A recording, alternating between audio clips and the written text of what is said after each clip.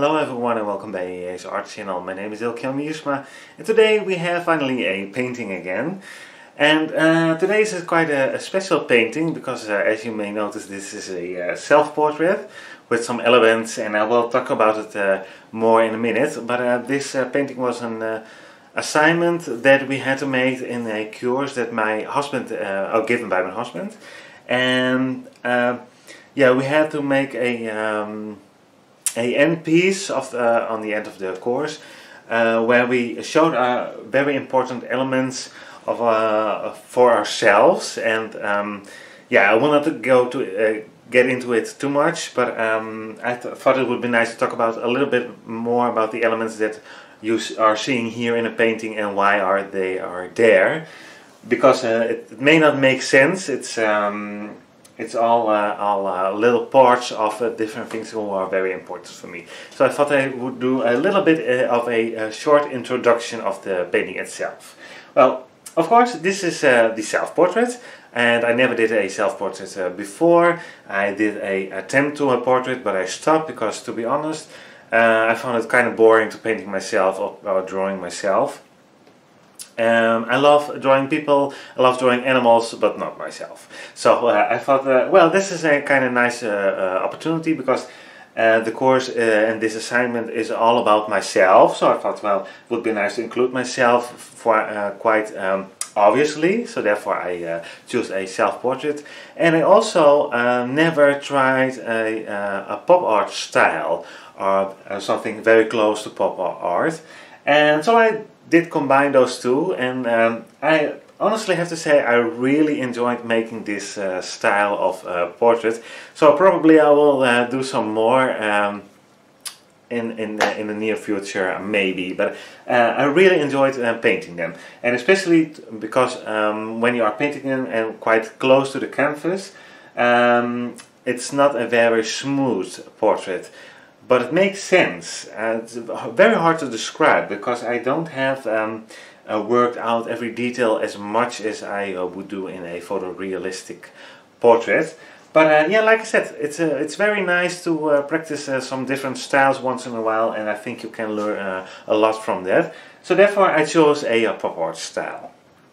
And here you see a uh, eye of a horse. I hope it you can see it clear and otherwise it will be uh, in the end of this tutorial I have a picture and you can see it better. But this is the eye of uh, my Frisian horse and I, maybe you noticed, uh, maybe you saw the uh, video I uploaded uh, next week. I will have a pop-up.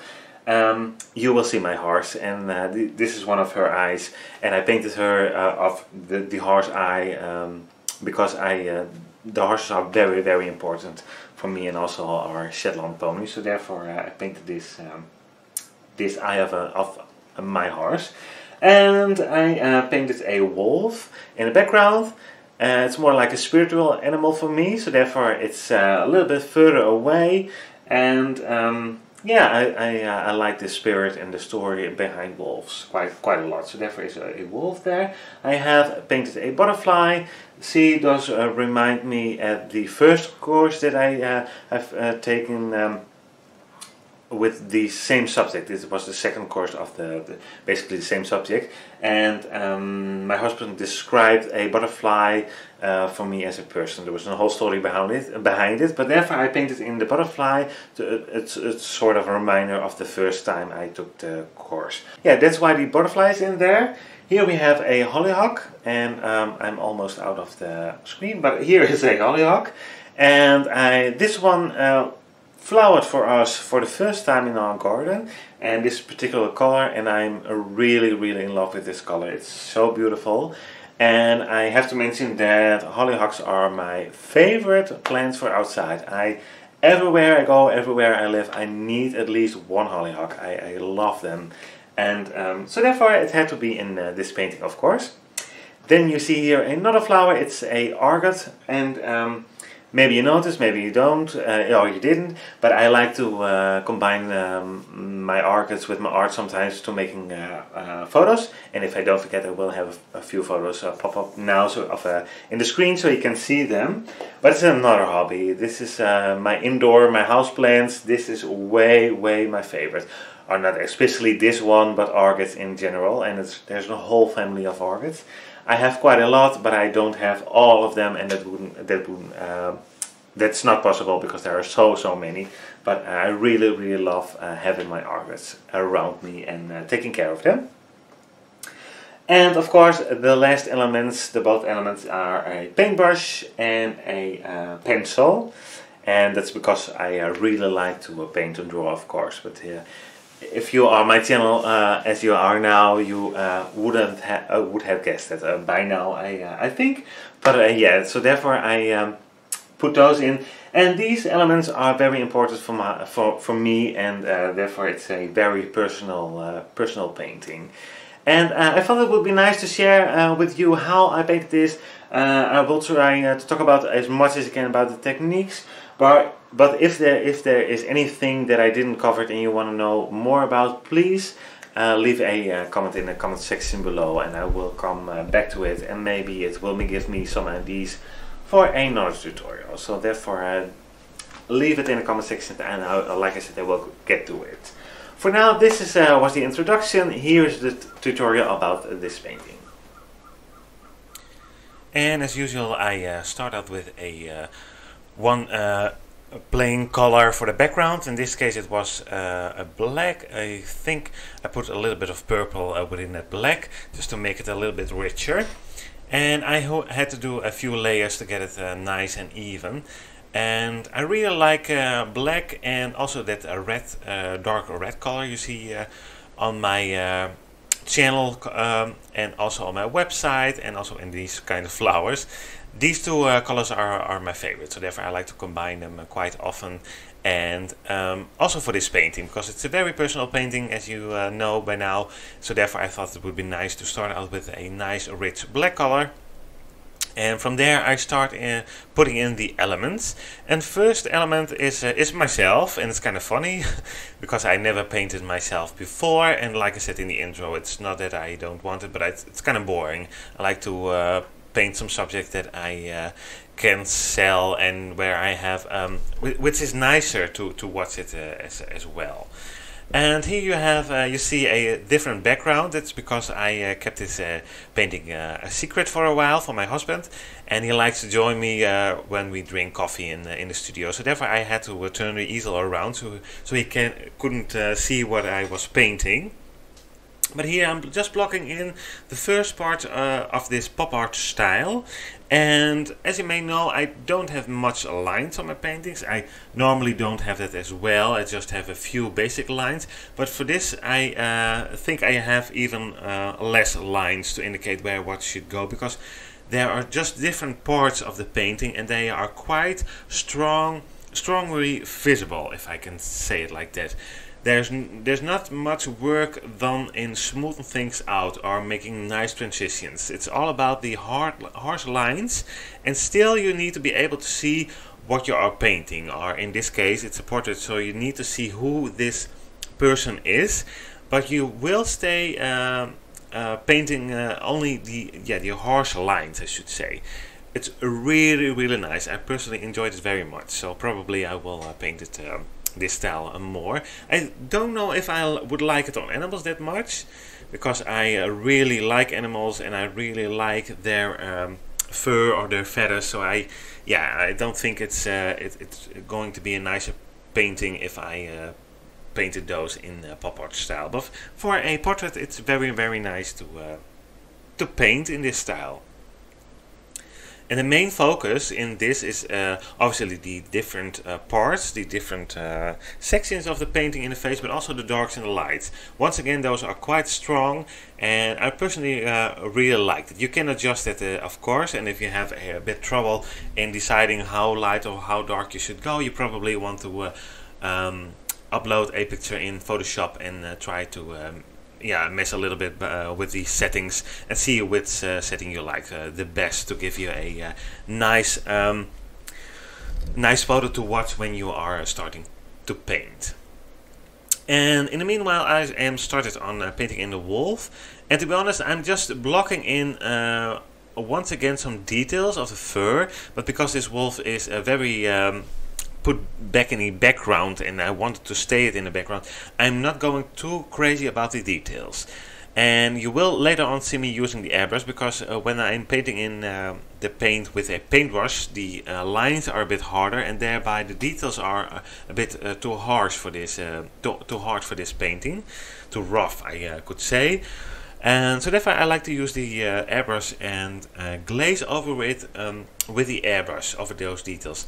And you have quite a lot of control on how much you want those details to be put in the background. And I think you only um, this only makes sense. I think when you're using the airbrush because you can uh, then feel it and see it what the airbrush will do with this underpainting, and it's really really nice. And it, it was really helpful for me to get the wolf in, the, in basically in the right position. There are some hints of color there, so I put those in as well. And once again I uh, if they are a little bit too bright that's okay because I'm going to uh, layer over it uh, later on. So therefore I uh, have it put in a little bit brighter than I wanted.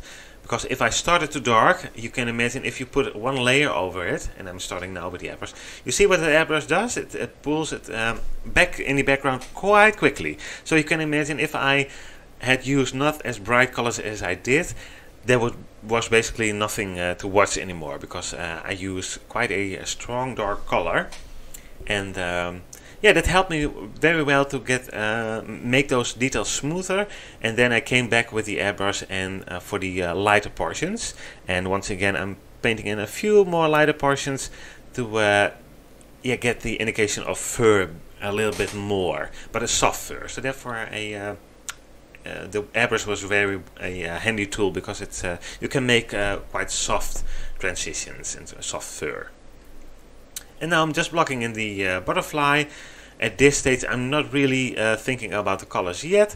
I just want to um, have some nice undertone, some nice undercolors where I can glaze over. And here you see me already starting with those exact colors, more exact colors and I'm using quite a lot of white and then glazing over with the yellow and the orange because otherwise you can um, hardly see the yellow because it's uh, very translucent and also the orange is very translucent. So therefore I like to put a little bit of white paint underneath uh, those colors. And I think it's a bit different in the different brands of paint I'm using the uh, Liquitex Basics. Those are quite uh, quite translucent at least those colors here, once again, I'm starting out a bit lighter and then I'm glazing over my colors and come back for the details a little bit more. To let it stand out the portrait, portrait uh, more, I use a very strong white line and that uh, makes it more pop art style as well, I think. And here you see me in putting in a few details. I'm not exactly uh, as uh, close as in the reference picture, but I just give the indications of uh, details because it's a quite a little flower, but there must be uh, quite a, different variation, otherwise it will not look uh, as realistic as I wanted it. But uh, yeah, and uh, lots of layers. Also in those little flowers I use a lot of layers of different colors.